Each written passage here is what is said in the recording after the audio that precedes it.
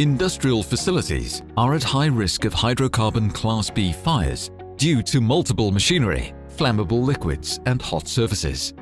Fires in machinery spaces can have serious consequences, as these fires do not only present a serious risk to people's lives, but they can also lead to property loss and expensive production downtime.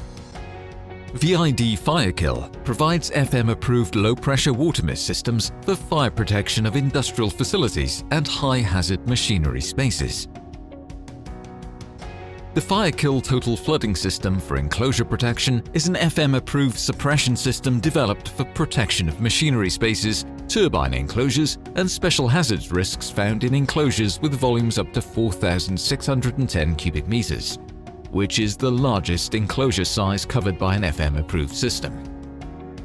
The specially designed nozzles are placed in the ceiling to cover the entire space, regardless of the location of the machinery. And in the event of fire, the system will immediately discharge water to the entire space. The cooling characteristics of the low-pressure water mist system rapidly suppresses the fire without having to shut down engines or evacuate personnel.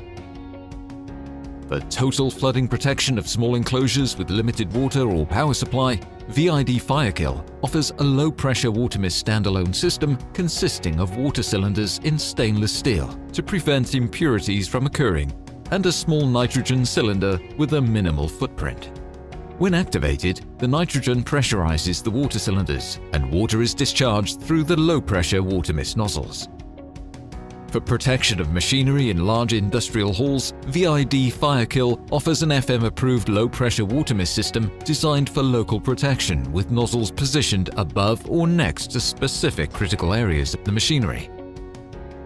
If a fire is detected, the local protection system will immediately activate and discharge water mist directly onto the defined areas of the machinery, securing a safe work environment and minimal damage to the equipment as water is only discharged to the burning area.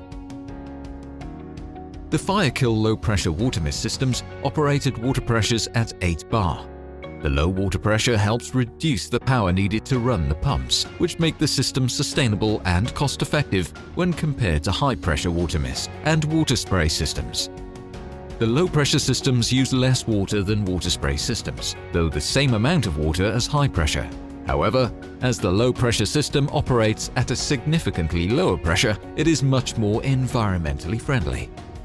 The Firekill low-pressure water mist system pumps are much smaller than those of high-pressure and water spray, and therefore require less space. The Firekill systems use standard low-pressure components, which keep the cost of installation and maintenance low.